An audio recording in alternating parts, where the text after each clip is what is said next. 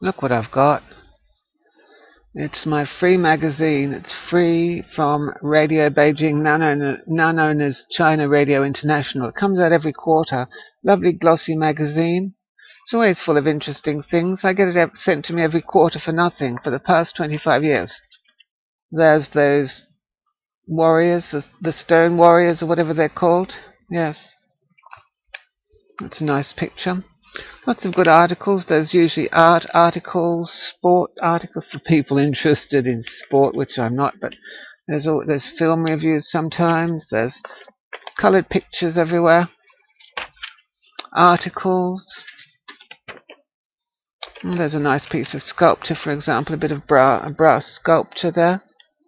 There's always interesting things. It's about China. If you're going to China or no Chinese people are interested in Chinese culture, there's pictures of history and landscapes. There's some beautiful peaches, for example. That's a picture that appeals to me. Um, about the languages, countryside, all for free, mind you. And the magazine just gets better all the time. Every year it gets better. Better photography and better production values. Mountains, uh, historical articles about their architecture and buildings and things all sorts of things. It's just excellent. I've got it for I've enjoyed it for years and years. They have competitions too. It's related to their uh, shortwave radio, but they still send it to people who are interested.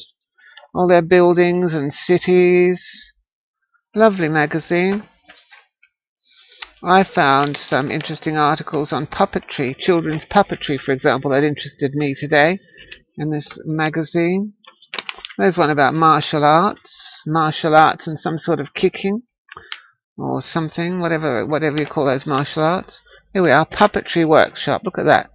Puppetry workshop with kids. There's another one on archery. Some people would like that. Archery. It's a lovely magazine, glossy and slippery. I can feel how slippery the pages are. I like this article about painted shoes, for example. That's a good one for an artist. Painted shoes painted shoes if you use fabric paints so you could do a sand shoe like that. Beautiful hand painted shoes.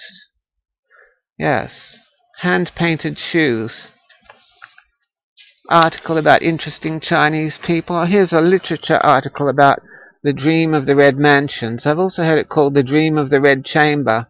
So that's a famous Chinese story isn't it? Yes.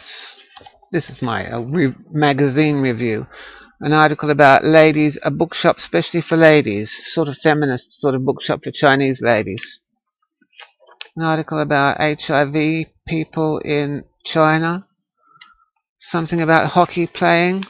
Mm, so many good articles.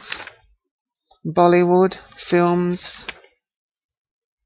juggling, an article about juggling.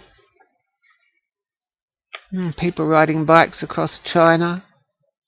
So many lovely things and all the people on the radio, radio Be Beijing, China Radio International. If you want a copy of this lovely magazine that comes out every quarter, you must email, uh, where are they?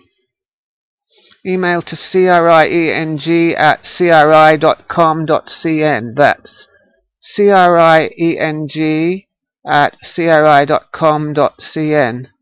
Or you can write to them at their English service, CRI, 16A Shijingshan Road, Beijing, China 100040 and Shijingshan is spelled S-H-I-J-I-N-G-S-H-A-N Road, but it would be easiest just to email them at their uh, China Radio International uh, website. Or go to their website. It's a lovely magazine and it's so glossy and it's free. What more can I say? And you'll learn all about China. It's lots of fun too. See ya. That's another thing. I won. A, I won a prize in one of their competitions. I won. I won a beautiful embroidered tablecloth, and I gave it to my uh, adopted Chinese nieces. You know, for their little Chinese, uh, for their Chinese uh, section of their house. It was beautiful. See you for now.